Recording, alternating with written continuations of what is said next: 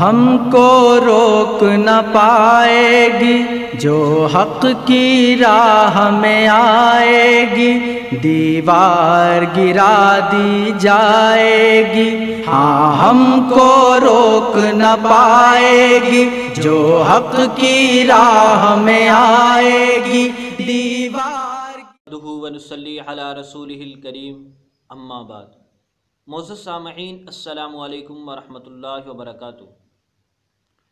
Engineer Mirza جہلمی کا ایک clip سننے کا اتفاق ہوا، قادیانیوں سے لین دین۔ اس سوال کا جواب دیتے ہوئے اس نے بہت زیادہ دھوکوں سے، فراڈوں سے، جہالت سے کام لیا ہے۔ آج ہم انشاءاللہ اس کے اس بیان کا آپریشن کریں گے۔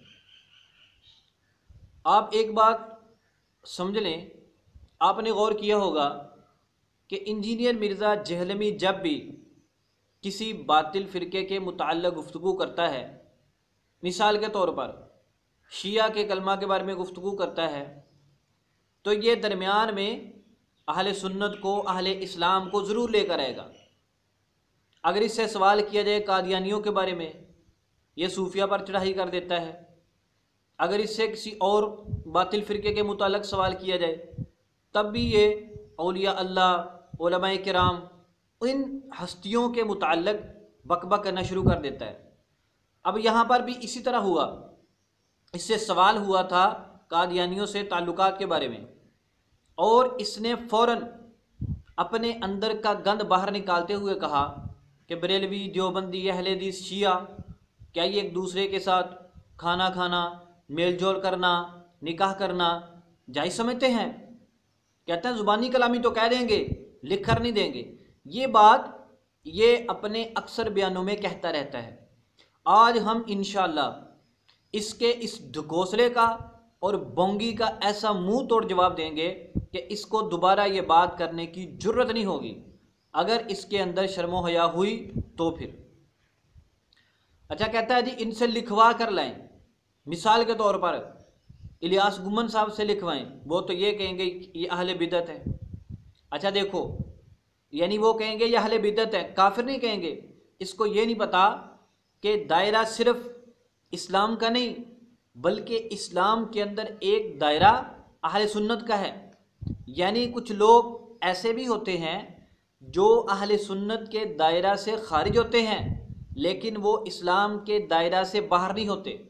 یعنی ہوتے وہ مسلمان ہی ہیں، لیکن بدتی ہوتے ہیں۔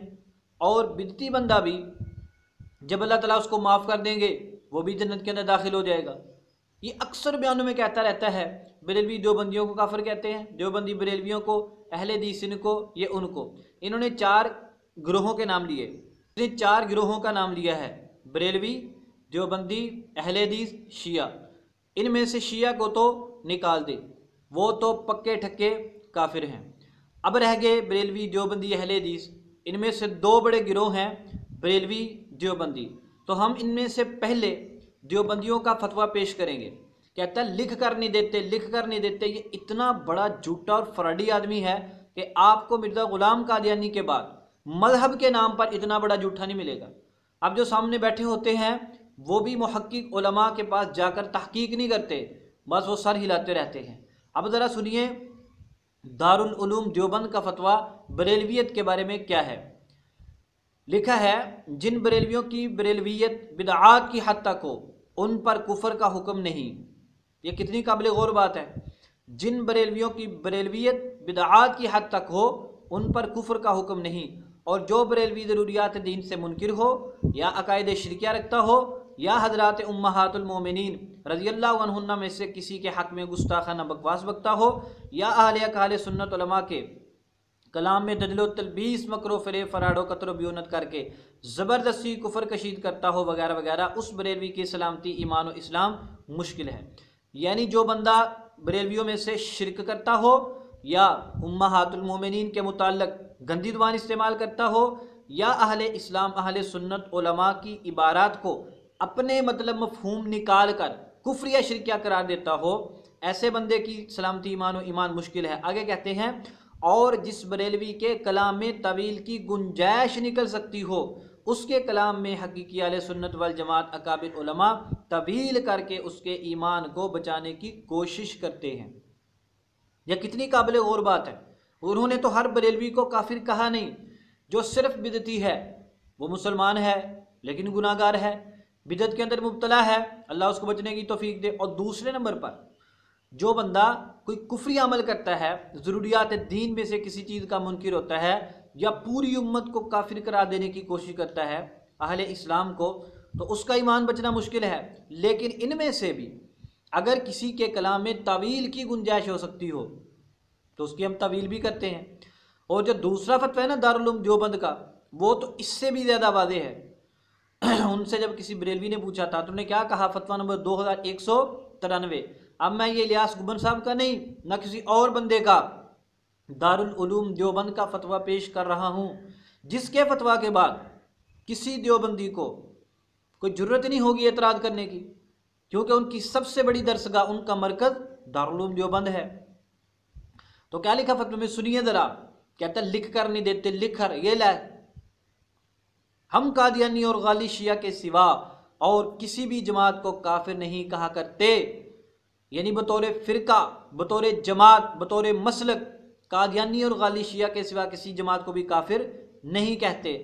آگے لکھتے ہیں، مولوی احمد رضا بریلوی نے حسام الحرمین نامی کتاب میں عقائد فاستہ کی علماء دیوبند کی طرف غلط نسبت کر کے ایک طرف سے تمام علماء دیوبند کو کافر کہنے میں ذرہ برابر جھجک محسوس نہیں کی۔ ساتھ نے پکی بھی دے دی اس سائل کو۔ اور آگے لکھا، براہ کرم اپنا کرم نامہ علماء بریلوی کے پاس بھیجے ہم الحمدللہ امت کی شیرازہ بندی میں لگے ہوئے ہیں۔ سبحان اللہ، دیکھو فتوے کی طاقت اور دیکھو الفاظ کی احتیاط اور دیکھو امت کا درد۔ اس کو کہتے ہیں فتویٰ۔ بطور مسلک، بطور جماعت، قادیانی اور غالی شیعہ کے علاوہ کہتے ہیں ہم کسی کو بھی کافر نہیں کہتے۔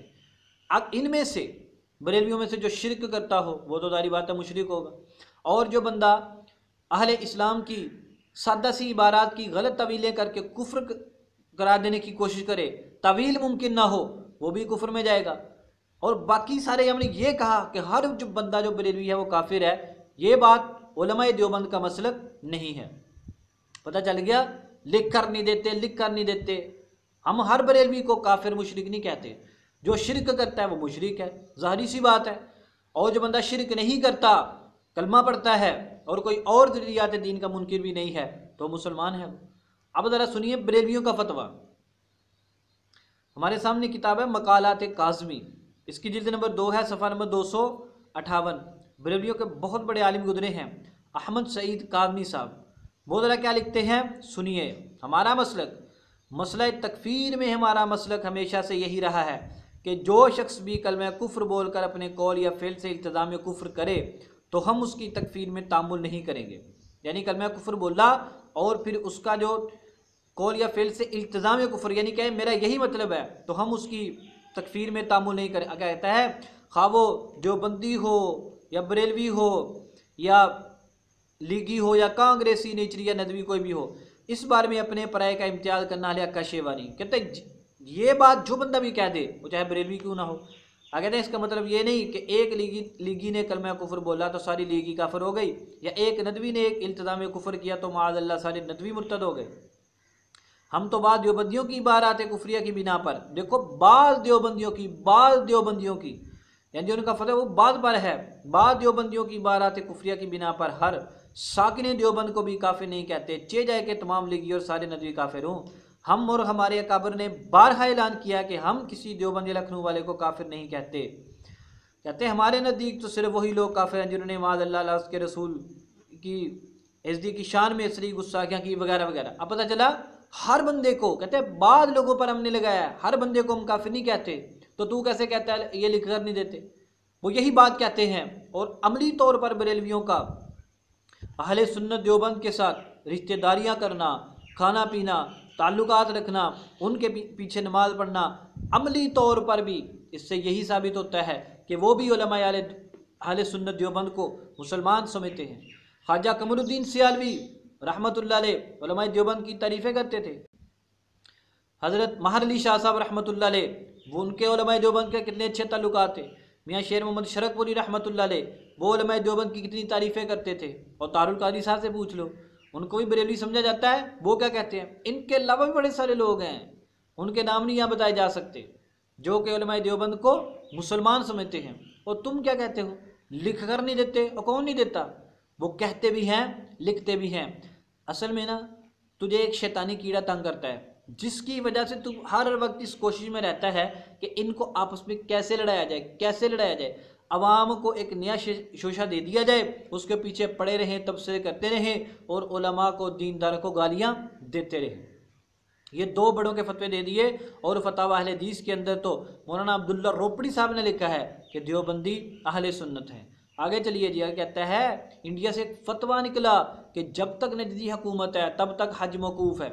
اچھا یہ جتنے سامنے لوگ بیٹھے ہوں گے میرا خیال ان میں سے ایک نے بھی نہ اس فتویٰ کو دیکھا ہوگا، نہ اس سے پہلے اس کے بارے میں سنا ہوگا۔ جب کوئی ایسی سخت بات کسی نے کر بھی دی ہے اور وہ مشہور نہیں ہے، تو دوبارہ تو اس کو سامنے کیوں لاتا ہے؟ اب لوگ اس سے پوچھیں گے، پھر یہ اس کی فوٹو کاپیاں تلاش کریں گے، پھر یہ سوشل میڈیا پر تبصرے کریں گے اور عوام کو ایک نئے پنگے میں ڈال دے گا۔ یہ اتنا شریر بندہ ہے، ایک چھپی بات چھپا رہنے دے۔ اب اس دیکھیں اگر انہوں نے فتویٰ دیا ہے کہ حج نہ کرو، انڈیا کے بریلویوں نے، تو اچھا بریلویوں نے پھر اس فتویٰ کو مان کر حج کرنا چھوڑ دیا ہے۔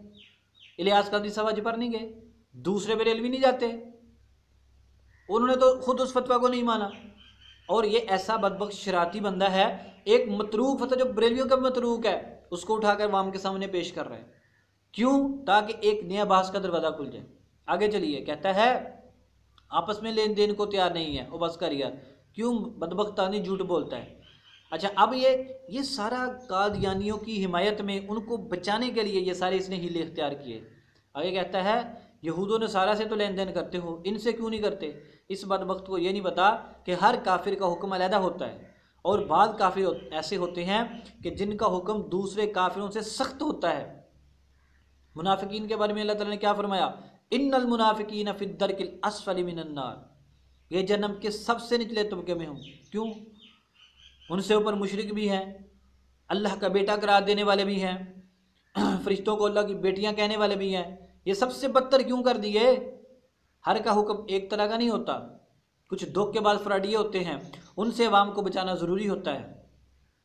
آگے پھر اس نے کہتا تقسیم کر دی، مسلم کی، غیر مسلم کی، اور غیر مسلم میں پھر دو طرح کے کافر، مرتد دوسرے، اور دوسروں میں پھر ایک اعلی کتاب کافر ہیں دوسرے بت پرست ہیں۔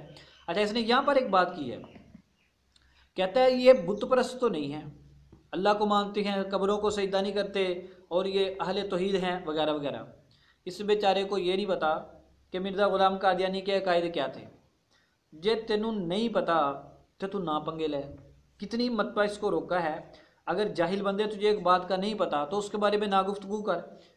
اب ذرا ہم آپ کے سامنے رکھتے ہیں کہ مرزا غلام قادیانی صرف مہدی، عیسیٰ، نبی تک نہیں پہنچا، وہ اس سے اوپر چلا گیا تھا۔ سنے ذرا وہ کیا کہتا ہے۔ مرزا غلام قادیانی لکھتا ہے، اس کے عربی بارے اس کا ترجمہ سنیں، کہ میں نے خواب میں دیکھا، میں اب یہی نہیں، اللہ ہوں۔ او ہو ہو، توبہ توبہ توبہ۔ کہتا ہے، میں نے خواب میں دیکھا، میں اب یہی نہیں میں نے یقین کر لیا کہ میں وہی ہوں، نہ میرا ارادہ باقی رہا، نہ کوئی خطرہ باقی رہا. اس حال میں کہ یعنی جب میں خدا تھا، میں نے ایک نیا نظام، نیا آسمان، نئی زمین چاہتے ہیں، پھر میں نے یہ کیا، وہ کیا، وہ گل کرو۔ کہتا ہے، میں اپنے آپ کو اس وقت ایسا پاتا تھا کہ میں ایسا کرنے پر قادر ہوں۔ جو صفات اللہ تعالیٰ کی ہیں، آگے چلتے چلتے بک بک کرتا کر کہتا ہے، بس میں نے آدم کو بنایا اور ہم نے انسان کو بہترین صورت پر پیدا کیا اور اسی طرح سے میں خالق ہو گیا۔ استغفر اللہ معاذ اللہ۔ کتنے بڑے بڑے کفریہ جملے بولتا ہے۔ تم کہنا کہ بت پرستان تو تھلے تو عید کو مانتے ہیں۔ شرم کر۔ آئینہ کمالات اسلام، صفحہ نمبر پانچ سو چونسٹھ، پانچ سو پینسٹھ۔ روحانی خدین جلد نمبر پانچ، صفحہ نمبر پانچ سو چونسٹھ۔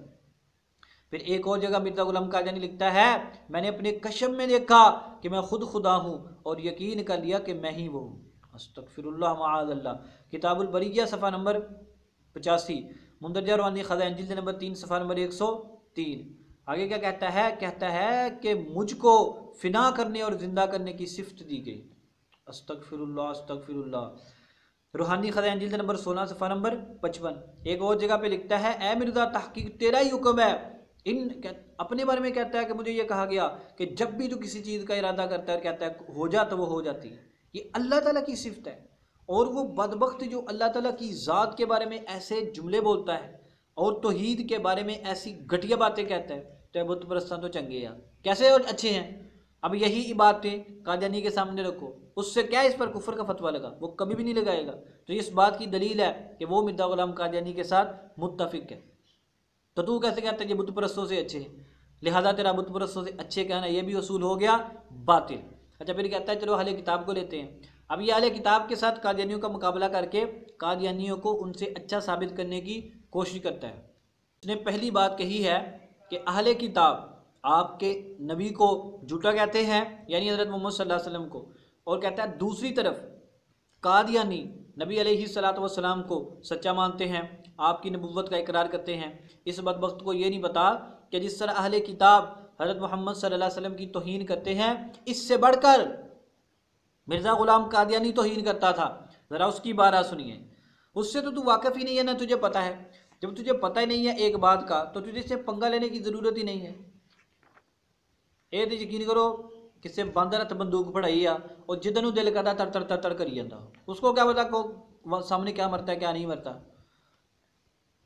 کیسے مقابلہ کروا کے کہتا ہے کہ یہ ان سے اچھے ہیں؟ حضور صلی اللہ علیہ وسلم کو مانتے ہیں۔ تمہیں تو پتہ ہی نہیں ہے۔ سنو ذرا اس کی بارت اور مرزا غلام قادیانی لکھتا ہے، اور ظاہر ہے کہ فتح مبین کا وقت ہمارے نبی کریم صلی اللہ علیہ وسلم کے زمانہ میں گزر گیا، اور دوسری فتح باقی رہی کہ پہلے غلبہ سے بہت بڑی اور زیادہ ظاہر ہے۔ حضور صلی اللہ علیہ وسلم کی فتح سے اس کی فتح بڑی ہے اور زیادہ ظاہر ہے، اور مقدر تھا کہ اس کا وقت مسیح معود کا وقت ہو، دوسری فتح کا۔ اور کہتا ہے اسی کی طرف خدا تعالیٰ کے اس قول میں اشارہ ہے، سبحان اللہ یسرا۔ اپنی فتح کو نبی پاک صلی اللہ علیہ وسلم کی فتح سے بلند اور اپنے زمانے کو نبی پاک صلی اللہ علیہ وسلم بلند کہہ رہا، یہ توہین نہیں ہے حضور صلی اللہ علیہ وسلم کی اور کیا ہے؟ روحانی خزائن جلد نمبر سولہ، صفحہ نمبر دو سو اٹھاسی۔ آگے سنیے، کہتا ہے، اسلام ہلال یعنی ابتدائی راتوں کا چاند کی طرح شروع ہوا اور مقدر تھا کہ انجام کا آخر زمانہ میں بدر کی طرح ہو جائے۔ خدا تعالیٰ کے حکم سے بعد خدا تعالیٰ کی حکمت نے چاہا کہ اسلام اس صدی میں یعنی چودھویں میں بدر کی شکل اختیار کرے جو شمار کی روح سے بدر کی طرح مشابہ ہو۔ بس انہی معنوں کی طرف اشارہ ہے کہ خدا تعالیٰ کے قول میں لقد نصرکم اللہ بدر حضور پاک صلی اللہ علیہ وسلم کو ہلال کرا دے رہا اور خود بدر بن رہا۔ کون؟ کانا مرزا غلام قادیانی۔ اور یہ کہتا ہے وہ تو حضور صلی اللہ علیہ وسلم کو مانتے ہیں اعلی کتاب سے اچھے ہیں۔ چوری نہ کھڑا، انہوں نے پاگل نہ بنا اپنے سامنے بیٹھے ہیں۔ روحانی خزین جلد نمبر سترہ، صفحہ نمبر دو سو پچہتر۔ آگے کہتا ہے کہ وہ جگہ مرزا غلام قادیانی غرض اس زمانہ کا نام جس میں ہم ہیں، زمان زمان البرکات ہے۔ کہتا ہے، لیکن ہمارے نبی صلی اللہ علیہ وسلم کا زمانہ فرمان التعیدات اور دف الآفات تھا۔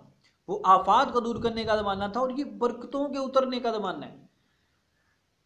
مجموعہ اشتہارہ، جلد نمبر تین، صفحہ نمبر بانوے۔ توبہ توبہ۔ گل کرو، گل کی گل کہہ رہا کیا کہہ رہا، کیا کہہ رہا؟ غور کریں۔ کہتا ہے میرا زمانہ زمان البرکات ہے حالانکہ سب سے زیادہ برکتیں اللہ تعالیٰ نے دنیا پر۔ حضرت محمد صلی اللہ علیہ وسلم کی موجودگی میں نادل فرمائی قرآن اترا۔ آپ صلی اللہ علیہ وسلم کو معجزات دیے گئے۔ کتنی برکات اتری۔ اور کتنے صحابہ کرام نے حضور پاک صلی اللہ علیہ وسلم کی برکات کو دیکھا، معجزات کو دیکھا۔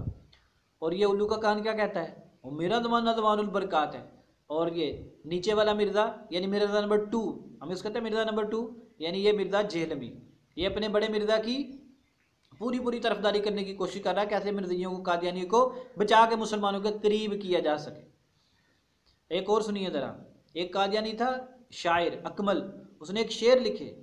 بہت ذرا شعر سنے اس نے جو کہ محمد پھر اتر آئے ہیں ہم میں اور آگے سے بڑھ کے ہیں اپنی شان میں۔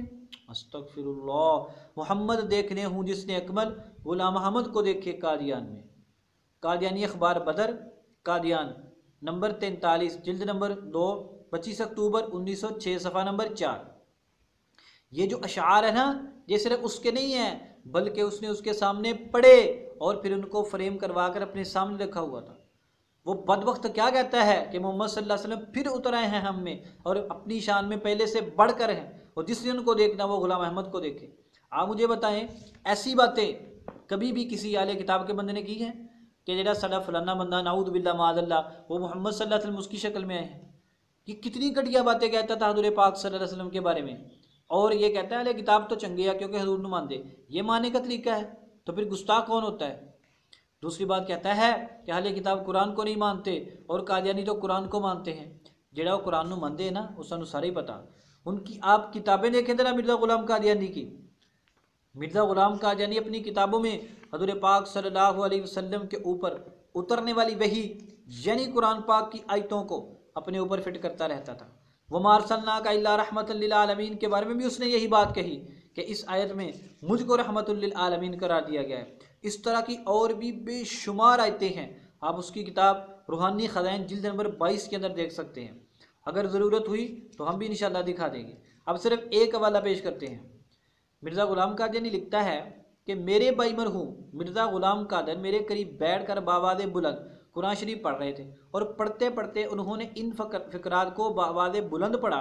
انا انزلناہ قریبا من القادیان لو ایک نوی آیت آگی قرآن جی اسی نہ پڑھی نہ سنی۔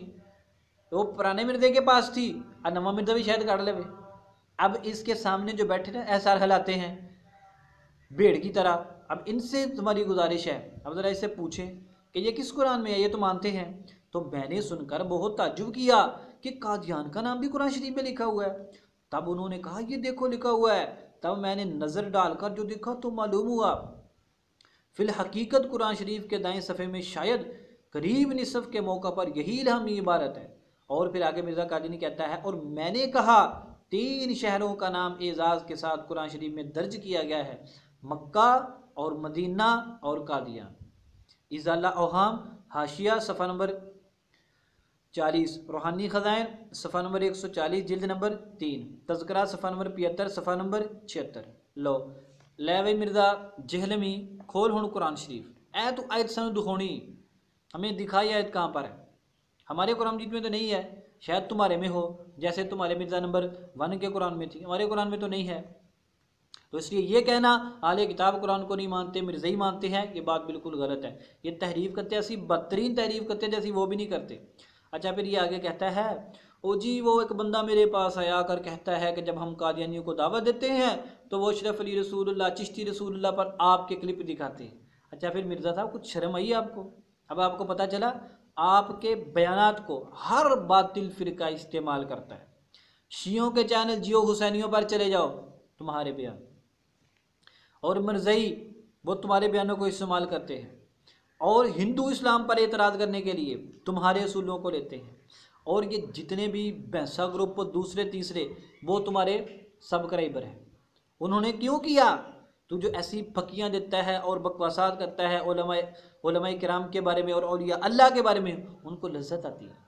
کیونکہ وہ گندے ذہن کے لوگ ہیں تو جب ان کو ایسی زہریلی باتیں ملتی ہیں ان کو لذت آتی ہے۔ جیسے سانپ کو ڈسنے سے لذت آتی ہے۔ تو تمہیں شرم آئی پھر کچھ؟ تمہارے استعمال کرتے ہیں۔ پھر کہتا ہے جی؟ انہوں نے تو بزرگوں نے یہ کیا ہوا اور ڈنگرا، کس بندے نے کہا تمہیں؟ مرزائی تو یہ کہتے ہیں نا۔ مرزا غلام قادیانی کو نبی مانو، وہ جا کر دعوت دیتے ہیں۔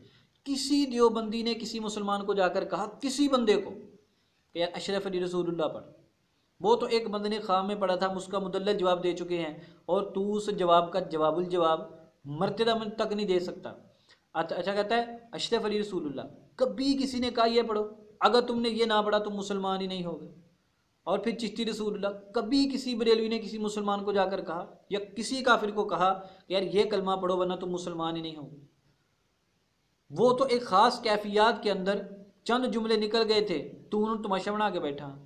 صرف عوام کے سامنے اولیاء اللہ کا مذاق اڑانے کے لیے۔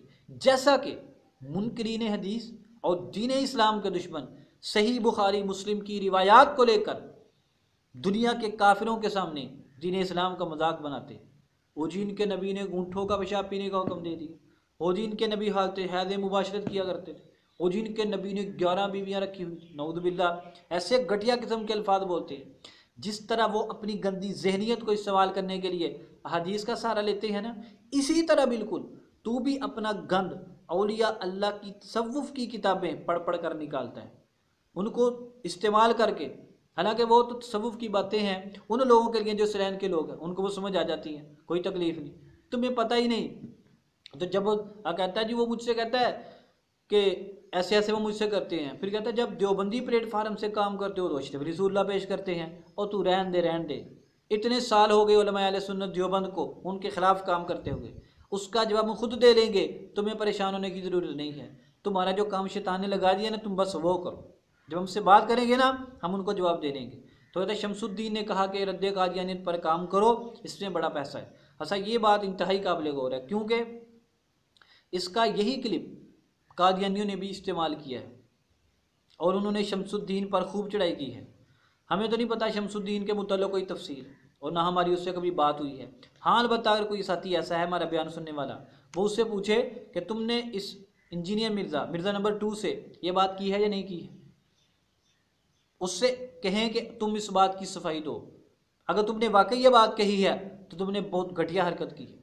تم مسلمان اس لیے ہوئے پیسہ کمانے کے لیے؟ اور اگر تم نے یہ بات نہیں کہی تو علن اعلان اس کا انکار کرو تاکہ لوگوں کو پتہ چلے کہ مرزا نمبر ٹو بھی مرزا نمبر ون کی طرح جھوٹ بولتا تھا۔ اچھا یہ کہتا ہے، یہ باتیں پیش کر کے کہ ایسی باتوں سے تو لگتا ہے کہ قادیانی یعنی اہل کتاب سے اچھے ہیں۔ ہم تمہیں بتاتے ہیں، یہ اہل کتاب سے بھی بدتر ہیں اور کیوں ہیں؟ پہلی بات سنو۔ اہل کتاب، مثلا عیسائی حضرت عیسیٰ علیہ السلام کو مانتے ہیں۔ یہودی موسیٰ علیہ السلام کو مانتے ہیں۔ ایک طرف والے کتاب ہو گئے، دوسرے مرزئی قادیانی، یہ کس کو نبی مانتے ہیں؟ ایک قذاب جھوٹے انسان کو۔ تو وہ تو چلو سچے نبیوں کو ہی مانتے ہیں نا، اور ایک جھوٹے انسان کو مانتے ہیں۔ تو یہ بہتر ہوئے یہ اہل کتاب بہتر ہوئے۔ دوسری بات، جو سب سے خطرناک ہے، قادیانی بھی کافر، اہل کتاب بھی کافر۔ لیکن کبھی کسی عیسائی نے کہا کہ میں مسلمان ہوں۔ کبھی کسی یہودی نے کہا کہ ہم مسلمان ہیں، لیکن قادیانی بدبخت اپنے آپ کو مسلمان کہتے ہیں۔ وہ لوگ خنزیر کے گوشت کو، خنزیر کا گوشت کیا کر بیچتے ہیں؟ اور یہ بدبخت خنزیر کے گوشت کو، بکری کا گوشت کیا کر بیچتے ہیں؟ کتنے بڑے مجرم ہیں۔ تو وہ ان سے اچھے نہ ہوئے۔ وہ عیسائی ہیں تو اپنے کو عیسائی کہتے ہیں، وہ یہودی ہیں تو اپنے کو یہودی کہتے ہیں۔ اگر کوئی ہندو ہے تو اپنے کو ہندو کہتا ہے، وہ مسلمان تھوڑی کہتے ہیں۔ اور یہ بدبخت لوگ وہ ہیں جو کافر ہونے کے باوجود اپنے آپ کو مسلمان کہتے ہیں۔ تو یہ ان سے بدتر نہ ہوئے۔ تیسری بات سنو۔ قادیانی اپنے آپ کو کبھی عیسیٰ کہتا ہے، کبھی موسا کہتا ہے، کبھی کچھ کہتا ہے۔ کبھی کسی عیسائی نے کہا کہ میں نعوذ باللہ عیسیٰ ہوں، یہ میں موسا ہوں۔ وہ تو ان کے بارے میں ذرا میں بات ہی نہیں سننا چاہتے۔ اور یہ کم وقت کیا کہا کرتا تھا؟ تو وہ یہ اپنے آپ کے بارے رنگ برنگی باتیں اور پھر کوئی قادیانی بھی مرزا غلام قادیانی کی تردید کرتا ہے کہ اس نے باتیں غلط کی ہیں۔ اور پھر دیکھیں، اہل کتاب کہتے ہیں ہم قرآن کو نہیں مانتے، وہ سائڈ پہ ہو گئے۔ اور یہ اس میں تعریف کرتے ہیں۔ اور اس میں آنے والی آیات جو حضرت محمد صلی اللہ علیہ وسلم کی شان میں ہے مرزا غلام قادیانی یعنی پہ فٹ کرتے ہیں۔ یہ ان سے بدتر ہوئے کہ نہ ہوئے؟ وہ اپنے کسی پادری پر یا کسی نبی پہ لگاتے ہیں۔ وہ تو عیسیٰ علیہ السلام کی تری اتنی کرتے ہیں جتنی ان کا دل چاہتا ہے۔ جو بدبخت قسم کی تری مرزا غلام قادیانی کرتا تھا، وہ تو نہیں کرتے تھے۔ تو قادیانی ان سے بدتر ہوئے کہ نہ ہوئے؟ اور اگلی بات سنو، جو کوئی بھی عیسائی یہودی نہیں کہتا، جو مرزے نے کہی ہے، یہ عبارت سن کر آپ کے کانوں سے دھواں نکلے گا۔ روحانی خزائن ہے، کتاب مرزا غلام قادیانی کی اپنی۔ صفحہ نمبر پانچ سو اکیس ہے، جلد نمبر بائیس۔ تتمہ حقیقت الوحی اس کے اندر رسالہ ہے، اس کا صفحہ نمبر پچاسی ہے۔ مرزا غلام قادیانی لکھتا ہے کہ آج سے چھبیس برس پہلے خدا تعالیٰ نے براہین احمدیہ میں میرے ہاتھ سے لکھا دیے۔ اور دنیا میں کوئی نبی نہیں گزرا جس کا مجھے نام نہ دیا گیا ہو۔ سو جیسا کہ براہین احمدیہ میں خدا نے فرمایا یعنی وہ اپنے بارے میں کہتا ہے، خدا نے مجھے فرمایا، میں آدم ہوں استغفر اللہ میں نوح ہوں، میں ابراہیم ہوں، میں اسحاق ہوں، میں یعقوب ہوں، میں اسماعیل ہوں۔ کوئی عیسائی یہ کہتا ہے؟ حضرت عیسیٰ کے حضرت موسیٰ کے بارے میں۔ کہتا ہے میں موسیٰ ہوں، میں داود ہوں، میں عیسیٰ بن مریم ہوں، اور آگے دجال دمانہ کا کہتا ہے کہ میں محمد صلی اللہ علیہ وسلم ہوں یعنی برودی طور پر، توبہ توبہ یعنی میں حضور پاک صلی اللہ علیہ وسلم کا سایہ ہوں۔ اس ذلیل کی بات سنو ہے کیا کہتا ہے؟ جیسا کہ خدا نے اسی کتاب میں یہ سب نہ مجھے دیے، اور میری نسبت جر اللہ فی حلل الانبیاء یعنی خدا کا رسول نبیوں کے پیرائے میں کہتا ہے، سو ضرور ہے کہ ہر نبی کی شان مجھ میں پائی جائے۔ استغفر اللہ استغفر اللہ۔ ان نبیوں میں تو ایک ایک جو شان ہے، کہتا ہے، سارے نبیوں کی شان مجھ میں پائی جائے یہ کتنا زہریلا جملہ ہے جو انبیاء علیہ السلاۃ والسلام کے بارے میں ایسی گٹیا غلیظ زبان استعمال کرتا ہے، اتنی توہین کرتا ہے کہ کہتا ہے، میں آدم ہوں، میں عیسیٰ ہوں، اس سے بڑا ذلیل کافر کون ہوگا؟ اور تو کہتا ہے جی یہ تو کتاب تو چنگے ہے شرم کر، خط نبوت کا مسئلہ نہیں ہے بس۔ مرزا غلام قادیانی، خدا تعالیٰ کی توحید کا منکر ہے۔ خدا تعالیٰ کی اللہ جل شاہ کی توہین کرتا تھا۔ قرآن پاک میں تحریف کرتا تھا۔ انبیاء کی گستاخی کرتا تھا۔ حضرت محمد صلی اللہ علیہ وسلم کی گستاخی کرتا تھا۔ ختم نبوت کا منکر تھا۔ اور حضرت امام مہدی کا دشمن تھا۔ اور پوری امت کو کافر کہنے والا۔ یہ ساری وجہ ہیں اس کے کفر کی۔ صرف ایک وجہ نہیں، ختم نبوت کا انکار کرنا۔ اس لیے تمہارا یہ کہنا کہ ان سے لین دین کر لو، کیونکہ وہ حل کتاب سے اچھے ہیں، یہ بات بالکل غلط ہے۔ یہ بدترین قسم کے منافق ہے مسلمانوں کا ان کے ساتھ کسی طرح کا کوئی تعلق رکھنا جائز نہیں ہے۔ اہل کتاب ایک الگ مذہب ہے، دین ہے۔ وہ کبھی بھی اپنے آپ کو مسلمان نہیں کہتے۔ یہ بدبخت اپنے آپ کو مسلمان کہہ کر مسلمانوں کو دھوکہ دیتے ہیں۔ اس لیے مرزا نمبر ٹو یعنی مرزا جہنمی کا مرزا نمبر ون کی میت میں بات کرنا بالکل باطل ہے۔